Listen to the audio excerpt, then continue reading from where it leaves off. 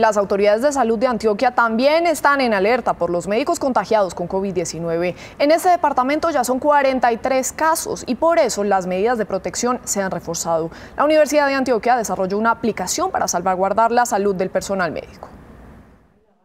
Los médicos han enfrentado la pandemia desde su llegada. La mayoría siguen en pie de lucha y otros han tenido que desistir en la batalla porque se han contagiado con el virus. De los 43 médicos diagnosticados en Antioquia, 26 ya superaron la enfermedad.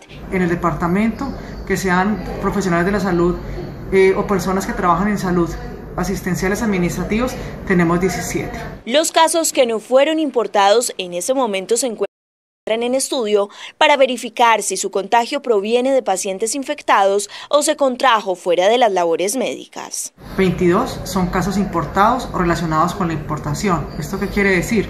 Que no es personal que se ha contaminado prestando servicios de salud. Con el fin de facilitar los diagnósticos médicos, catalogar la gravedad de un paciente infectado por el virus y tomar medidas de prevención más estrictas para el personal de la salud, la Universidad de Antioquia desarrolló esta aplicación con inteligencia inteligencia artificial para anticiparse a las complicaciones de los pacientes. Es un apoyo, es un facilitador a la toma de decisiones que en última instancia depende de las guías, las recomendaciones que están estipuladas por los entes internacionales. Por ahora, la aplicación solo está habilitada en Antioquia, pero se espera que en los próximos días los médicos de otras ciudades puedan hacer uso de ella.